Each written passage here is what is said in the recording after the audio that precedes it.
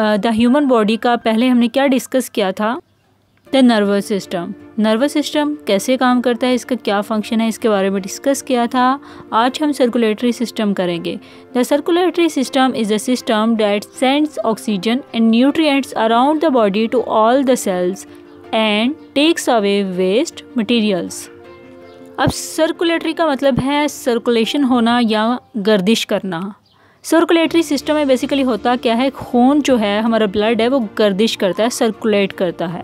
Circulatory system का basically function है, ये हमारी बॉडी का क्या काम सर अंजाम देता है? इसका काम है ऑक्सीजन और न्यूट्रिएंट्स को, सारी बॉडी के सेल्स को पहुंचाना और इनसे जो वेस्ट मटेरियल है, उसको लेकर बाहर निकालना रिलीज़ करना। जिस तरह नर्वस सिस्टम के मेन ऑर्गन थे जो कि बॉडी में एक स्पेसिफिक फ़ंक्शन परफॉर्म कर रहे थे बिल्कुल इसी तरह सर्कुलेटरी सिस्टम जो है, इसके मेन पार्ट्स होते हैं, जो मेन फ़ंक्शन परफॉर्म करते हैं बॉडी में, जैसे कि हार्ट है ब्लड है ब्लड वेसल्स है। आपको यहाँ एक डायग्राम शो हो रही है। इस डायग्राम में बेसिकली सर्कुलेटरी सिस्टम को बताया गया है, जिसमें आर्टरी नज़र आ रही है। आर्टरी और वीन्स हैं, ये हमारी ब्लड वेसल्स होती हैं, जो मेन फ़ंक्शन परफॉर्म करती हैं ब्लड ट्रेवल करती हैं खून की गर्दिश के लिए ये वर्क करती हैं हमारी बॉडी में। इसके अलावा हार्ट नज़र आ रहा है आपको बॉडी में। और आर्टरी जो है, वो रेड कलर में है और वीन्स जो है, वो ब्लू कलर में है। और खून की गर्दिश के साथ ऑक्सीजन ऑक्सीजन और शामिल, न्यूट्रिएंट्स भी शामिल होते हैं जो कि हमारी गज़ा में पाए जाते हैं। The heart pumps blood around the body जैसे कि आप जानते हैं हार्ट का मेन फ़ंक्शन है ब्लड को पम्प करना अराउंड योर बॉडी आपकी तमाम बॉडी में। The heart pumps blood around the body the blood vessels in tubes called blood vessels there are three types of blood vessels arteries veins and capillaries अब heart का basic function होता है blood pumping पूरी body में ये blood का blood pumping का काम करता है और ब्लड जो है वो ट्रैवल करता है थ्रू ट्यूब्स और उन ट्यूब्स को हम क्या कहते हैं? ब्लड वेसल्स इसी तरह तीन टाइप्स की जो ब्लड वेसल्स होती हैं, उसका नाम है आर्टरीज वीन्स एंड कैपिलरीज अब चूँकि दिल हमारी पूरी बॉडी को खून पहुँचाता है तो इस तरह वो सर्कुलेटरी सिस्टम का क्या है? मेन ऑर्गन है. और साथ ही हमारी बॉडी में वेस्ट मटेरियल को भी रिमूव करते हैं. ये तीनों पार्ट हमारी बॉडी में से आ, क्या करते हैं वेस्ट मटेरियल को भी रिमूव करते हैं हार्ट ब्लड और ब्लड वेसल्स फर्दर इसको डिस्कस करेंगे. जैसे कि हार्ट को हमने डिस्कस डिस्कस किया कि वो एक मेन एलिमेंट है. इसके बाद बात करते हैं ब्लड की जो कि एक अहम हिस्सा है इस सिस्टम का क्योंकि ब्लड ही वो चीज़ है जो हमारी पूरी बॉडी में मूव कर रहा है. अब ब्लड वेसल्स के अंदर ब्लड होता है जो कि बेसिकली वो ट्यूब्स हैं जो ब्लड को एक जगह से दूसरी जगह लेके जाती हैं. और इनके अलग अलग फ़ंक्शन होते हैं और हमारी बॉडी का फ़ंक्शन भी बहुत ही इंटरेस्टिंग है। और हार्ट जो है वो खून पंप करता है पूरी बॉडी में और ब्लड पूरी बॉडी में सर्कुलेट करता है। ट्यूब्स की शक्ल में जिसको हम ब्लड वेसल्स कहते हैं arteries carry blood away from the heart to other organs and tissue in the body veins carry blood to the heart and capillaries are very small blood vessels that link the veins and the arteries अब arteries एक ऐसी tubes हैं ऐसी tubes हैं जो कि खून को दिल से दूर लेकर जाती हैं। बाकी तमाम बॉडी के ऑर्गेन्स और टिश्यूज़ के पास ताकि वो इनको यूज़ कर सकें। अब वीन्स का क्या फ़ंक्शन होता है हमारी बॉडी में? वीन्स खून को दिल तक लेकर जाती हैं। और उस वक्त ऑक्सीजन उसमें शामिल नहीं होता। जब वो हार्ट में जाती हैं, दिल दिल इस खून को लंग्स में भेजता है और लंग से होके वापस हार्ट में आता है और फिर हार्ट पूरी बॉडी को ब्लड जो सेंड करता है आर्टरी के ज़रिए।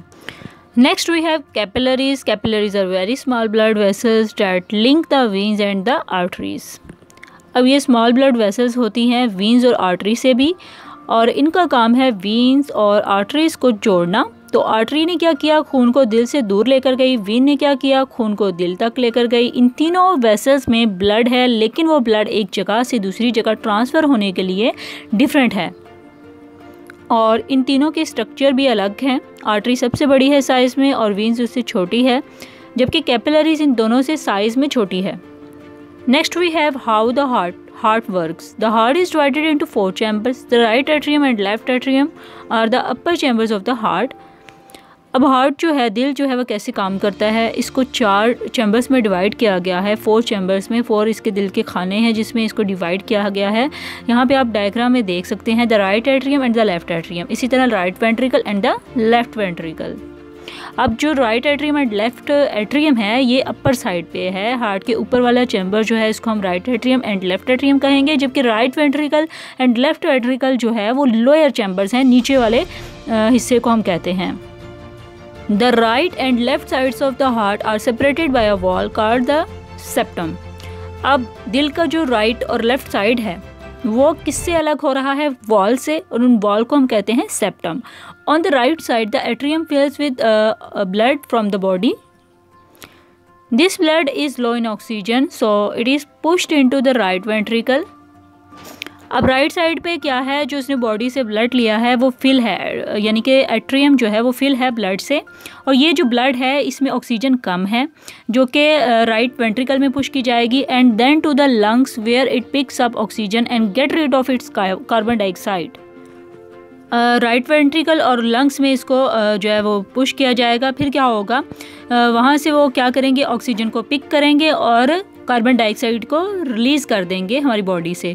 On the left side the atrium fills with oxygen rich rich blood from the lungs this is then pumped into the left ventricle अगर आप लेफ़्ट साइड पे देखें तो यहाँ पे क्या है एट्रियम जो है वो फिल है ऑक्सीजन रिच ब्लड यानी कि ऐसा ब्लड जिसमें ज़्यादा ऑक्सीजन है, जो कि उसने लंग्स के लंग्स से ली, यानी फेफड़ों से लिया। This is then pumped into the left ventricle और फिर इसको क्या करेंगे पम्प्ड करेंगे लेफ़्ट वेंट्रिकल में and out round the body to provide cells with oxygen and other nutrients the need और इसी तरह आपकी पूरी बॉडी में वो ब्लड जो है विद ऑक्सीजन एंड न्यूट्रिएंट्स आपकी बॉडी में जो है मूव होगा, जिसकी आपकी बॉडी को ज़रूरत होती है। अब यहाँ भी आपको एक डायग्राम शो हो रही है, जिसमें बताया गया है how to find the pulse in your wrist अब आप अपनी कलाई से अपनी पल्स को कैसे फाइंड कर सकते हैं, अपनी नर्व्स को कैसे चेक कर सकते हैं। यहाँ पे आपको एक हैंड नज़र आ रहा है, वहाँ पे है थम दिखाया, दिखाई दिया गया है फ़र्स्ट फिंगर है आपकी, और palm of hand position of pulse and rest ये चीज़ें आपको दिखाई गई हैं। तो आपने पल्स कैसे फाइंड करनी है? जब आप हाथ में अपनी कलाई में घड़ी को बांधते हो तो वहाँ पे आप जो है दो फिंगर्स के साथ पल्स को चेक कर सकते हो। जब आप उसको वहाँ से दबाओगे तो आपको पल्स जो है वो बीट करती नज़र आएगी। अब नेक्स्ट जो है, वो हमारे पास है रिस्पायटरी सिस्टम अब रिस्पायटरी सिस्टम क्या है? इसमें सांस लेने का जो अमल है उसको हम डिस्कस करेंगे। रिस्पायटरी सिस्टम को आप निज़ाम तनफ़ुस भी कह सकते हैं।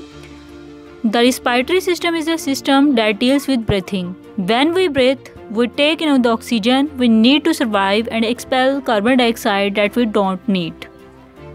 So respiratory system क्या होता है? डील करता है ब्रीथिंग को, हमारी सांस लेने लेने के अमल को डील करता है रिस्पायरेटरी सिस्टम जब हम सांस लेते हैं तो क्या होता है? ऑक्सीजन को अंदर लेके जाते हैं, जो कि हमारे ज़िंदा रहने के लिए इंतहाई ज़रूरी है।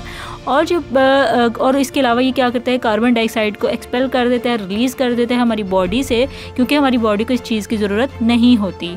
और ये हमारी बॉडी के लिए हार्मफुल भी है कार्बन डाइऑक्साइड डेट्स वाई इसको रिलीज़ करना ज़रूरी है।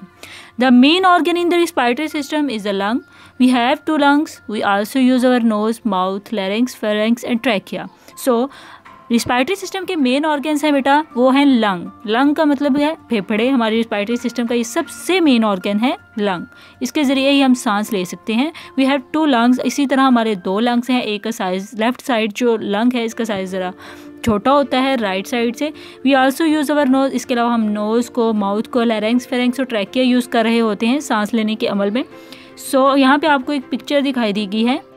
ह्यूमन रिस्पायरेटरी सिस्टम की सो so, इस पिक्चर में क्या है? डिफरेंट ऑर्गन्स दिखाई दिए गए हैं जिसकी वजह से हम सांस को लेते हैं सांस को बाहर निकालते हैं। जैसे कि नेजल कैविटी है नॉस्ट्रेल है फेरेंक्स लेरेंक्स है ट्रैकिया है।